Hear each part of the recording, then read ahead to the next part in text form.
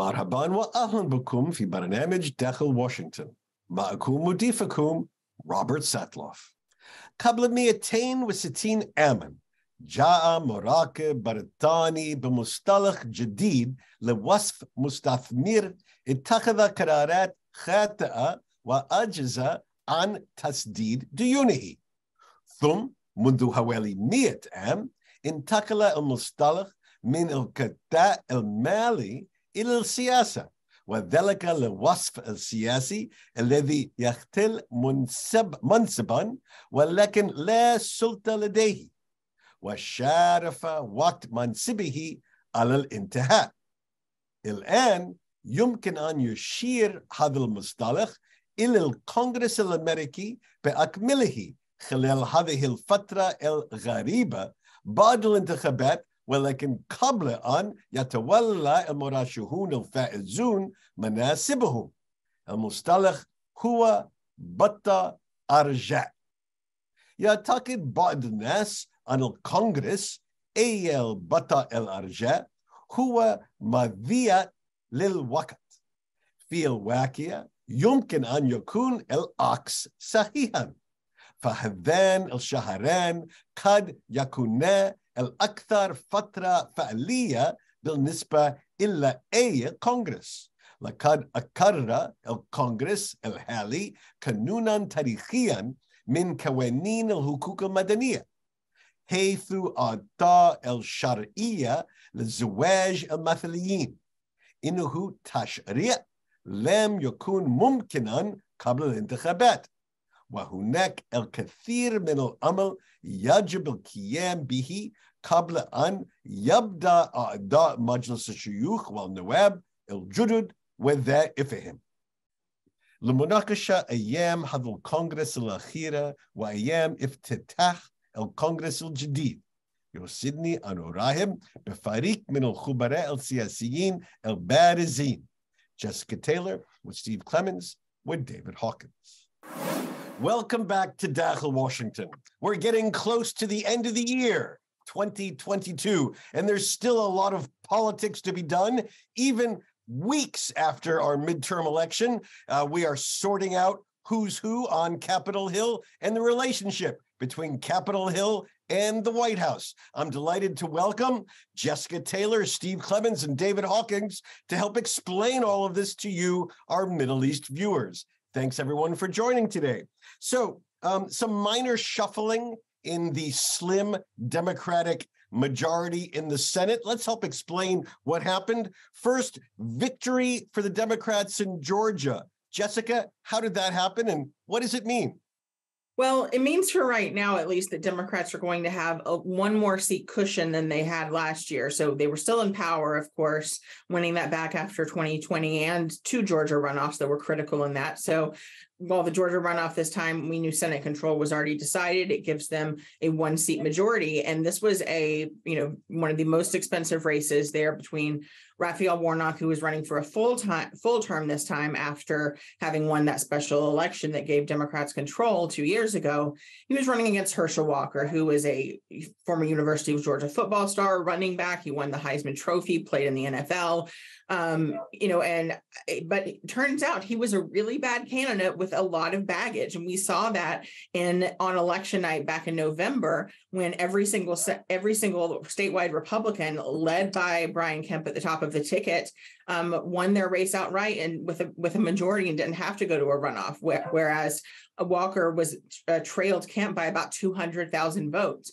And, you know, he really had to get to sort of woo some of those voters back to his side. Um, Republicans that may have voted for Kemp and then Warnock, but that clearly didn't happen. I think there were still, you know, concerns about his personal life, um, his business dealings, just a lot of questions. And he'd go on these very strange rants on the campaign trail, one um, closing one about vampires and werewolves. And ultimately, just a lot of voters did not see him as prepared to be in the Senate. And I think this just underscores the problem that Republicans had across the board and what was a very, what again, they should have been able to flip one seat given the history and given where we saw President Biden's numbers and the economy and different things.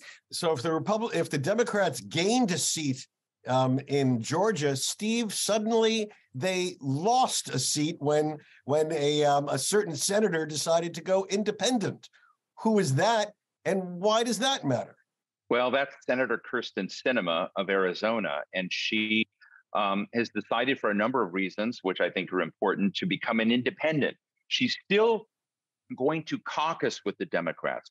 Senator uh, Chuck Schumer, the, the Senate Majority Leader, um, has said that she will continue to get all the uh, positions she had previously, even though she's left the Democratic Party. Uh, she's not going to run in the Democratic primary process uh, in Arizona, but she will keep her committee assignments. So, as far as what Jessica just shared, the numbers and the majority, that one seat breathing room that Joe Biden got after this election in the Senate, will remain.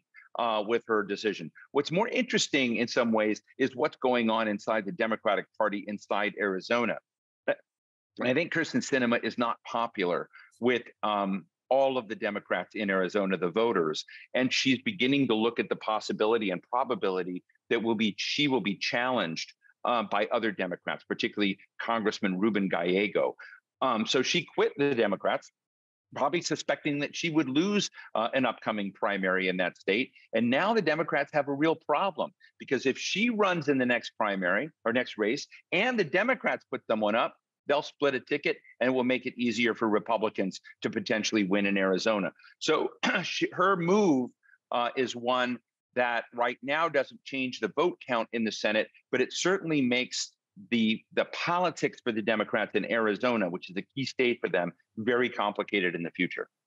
So this is a lot of uh, what we'll call inside Senate baseball. Um, David, when you look at the the big picture um, uh, of where Congress ends up, Senate, House, where Congress ends up at the end of 2022, um, now that we finally have tallied all the major votes, what's the balance? So, right in the end, the balance. So, so the old Congress comes to an end at the end of 2022 new people who were elected in November take office in early January. We have a, a return of divided Congress uh, for the first time in several years. The, the House of Representatives elected district by district around the country, 435 seats. The Republicans now control it with just four seats to spare. They have they'll have about 222 seats out of 435.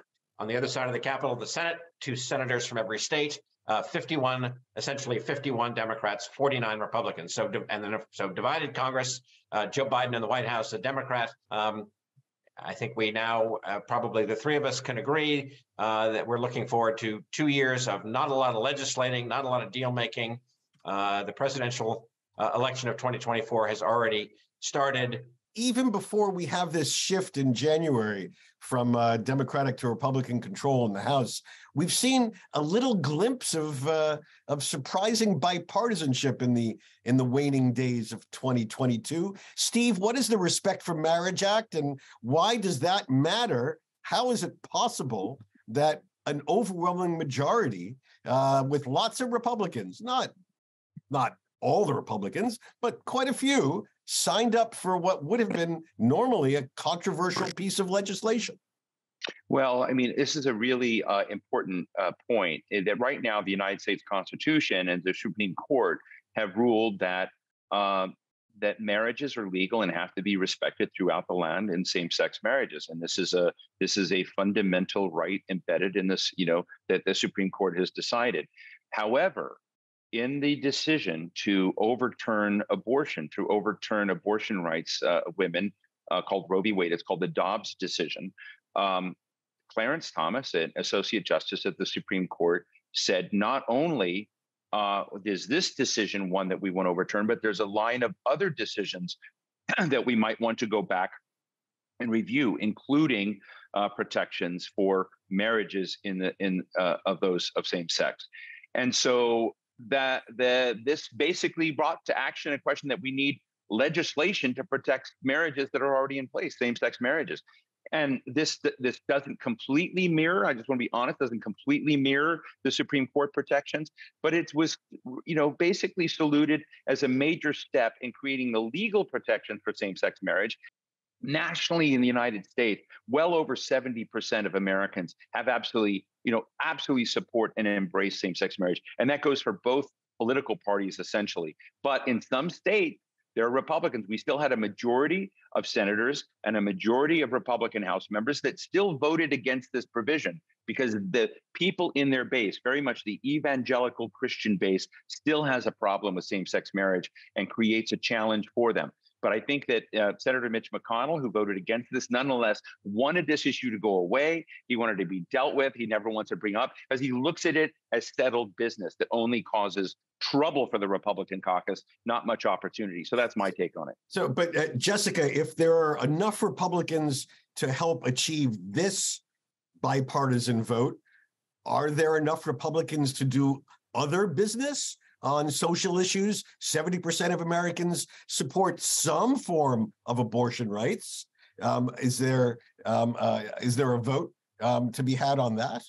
Well, I think when it comes to abortion, I mean, the question is how long do you allow it for? What are the protections? We've clearly seen, you know, uh, I mean, Lindsey Graham proposed a 15 week ban um, at a time when Republicans did not want to be talking about uh, uh, the abortion issue after Dobbs either, um, because uh, it, uh, you know, they initially said this sends the decision back to the states, but instead Graham was stepping in there and saying, well, this is a federal vote. And I think that, you know, same sex marriage isn't as nuanced. It's either, you know, can they get married or can they not? And I would also note this protects interracial marriage as well, which was decided by the Supreme Court even before that uh, in Loving v. Virginia. All right, we'll come back um, after the break, continuing this conversation and ask a somewhat conspiratorial question. Do the Democrats secretly really want Donald Trump to be the candidate, given how poorly his chosen nominees did in November? We'll get at this with our guests in just a moment. The baton is passing in the U.S. House of Representatives, with a narrow Democratic majority giving way to a narrow Republican majority. We have come to the end of the remarkable career of Nancy Pelosi, twice Speaker of the House and the first woman ever to hold what is constitutionally second in line of succession after the vice president. In her place, we are likely, though not definitely, we are likely to see Kevin McCarthy of California, the current Republican leader, whose goal is to avoid the fate of recent Republican speakers like John Boehner and Paul Ryan, whose leadership was undone at least as much by insurrection and infighting within their own party as by larger trends in national politics. Who will the next speaker hope to emulate? Let's take a moment and look at three of the most successful speakers in history, men who strode like Colossus through Washington, but names that are largely forgotten today. Joseph Cannon, Republican of Illinois, who served as the 40th Speaker of the House under Presidents Teddy Roosevelt and William Howard Taft. Cannon exercised exceptional control during his speakership earning him the nickname Czar Cannon. And a harbinger of things to come, his tight grip on the House lasted until a political revolt led by a small sect of Republicans curbing his power. And then there's Sam Rayburn, Democrat of Texas, who served three separate times as Speaker under Presidents Dwight David Eisenhower and John Fitzgerald Kennedy. Rayburn holds the record as the longest serving speaker, a position he held 17 years. Considered a master negotiator, Rayburn is credited with raising the prominence of his party during his speakership and supporting the budding career of Lyndon B. Johnson, eventually president himself. And then there's Thomas P. Tip O'Neill Jr., Democrat of Massachusetts, the 55th Speaker who served under Presidents Gerald Ford, Jimmy Carter, and most famously, Ronald Reagan, the ideological conservative with whom the New England liberal built an unusual friendship and even partnership, keeping his principles strong, but still reaching agreement across the aisle, especially on how to work together to fight the Cold War, even with a president who viewed the world so differently. Will the new speaker have the iron grip of Cannon, the political smarts of Rayburn, or the genial bipartisanship of O'Neill? Or will he chart his own path? Will he control his party's extremes, or will he be captured by them? Answers to these questions will determine if future generations remember the name Kevin McCarthy or whoever it is comes out on top in the Republican leadership contest.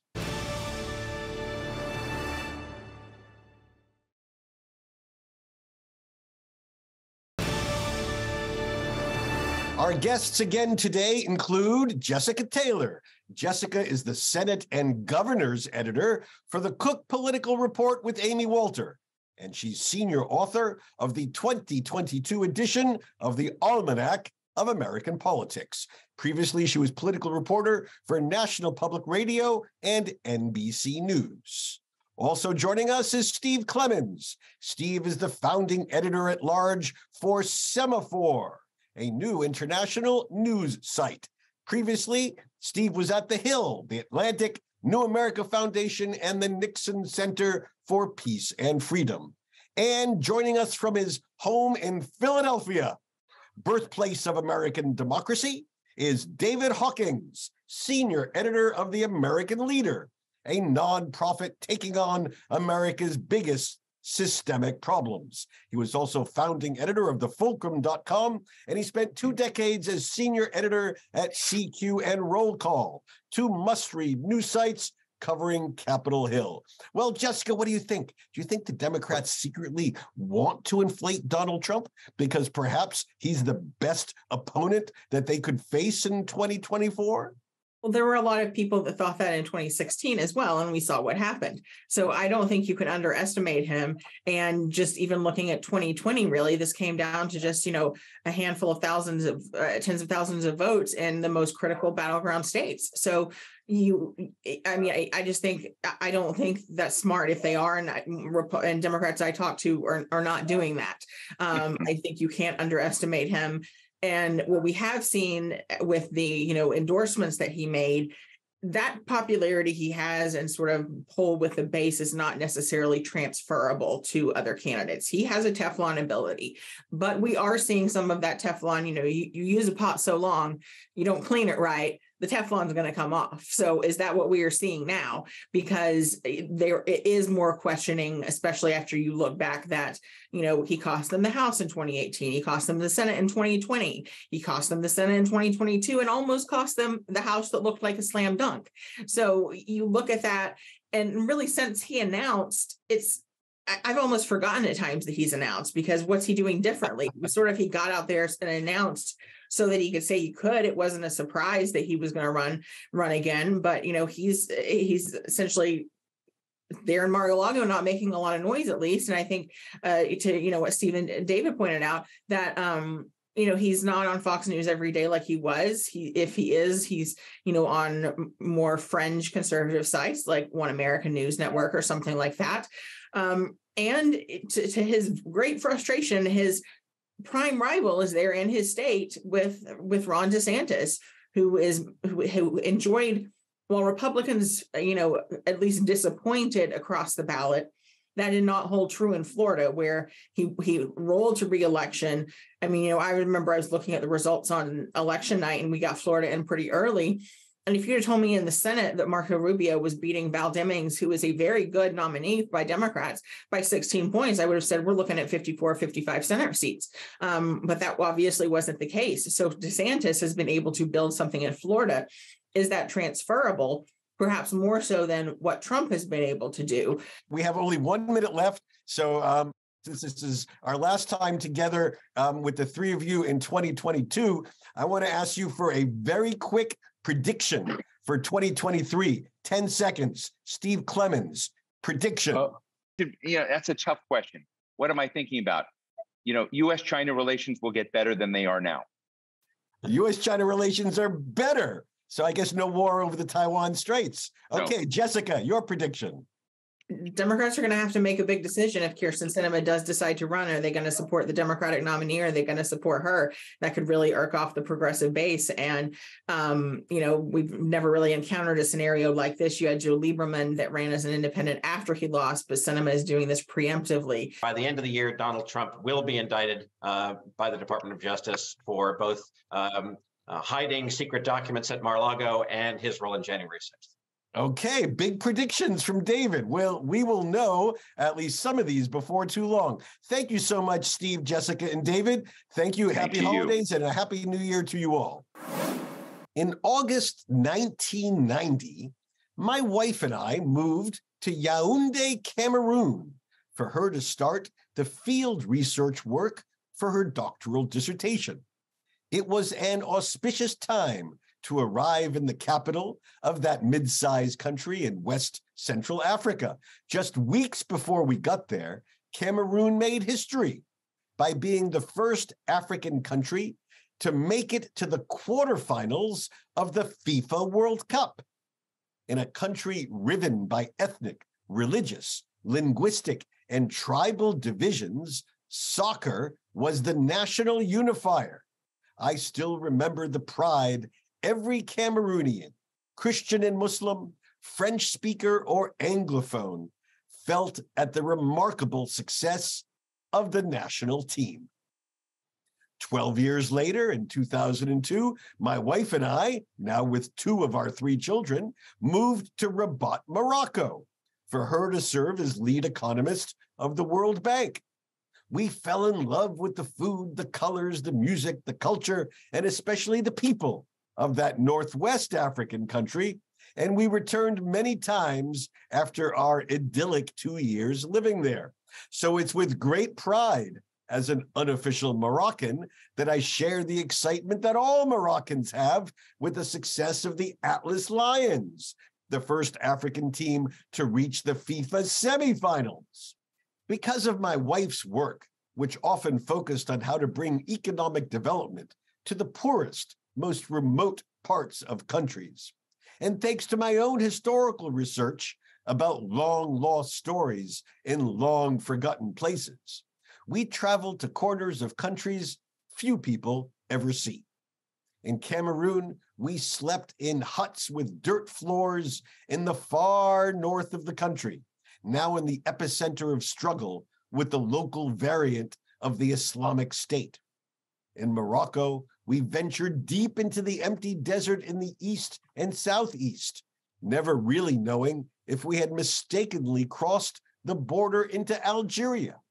But wherever we went, we saw little boys, then boys, now boys and girls, kicking a ball, which was really most likely just a tightly wound wad of old newspaper.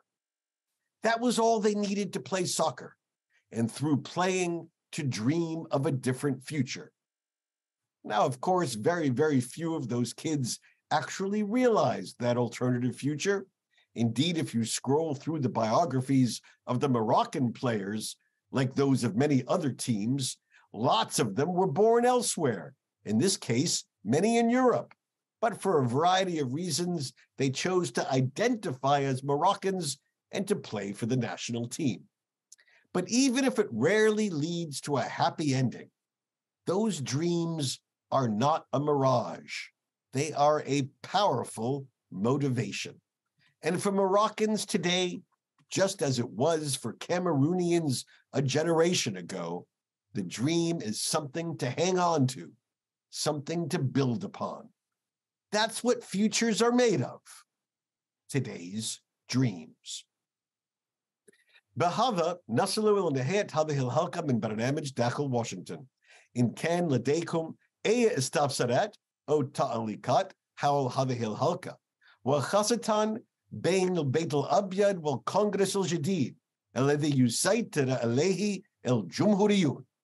Tawasalu Mai Aber Twitter ala hashtag Inside Washington. O Rasuluni Mubasharatan ala at Rob Satloff. أراكم الأسبوع المقبل شكرا لكم وإلى اللقاء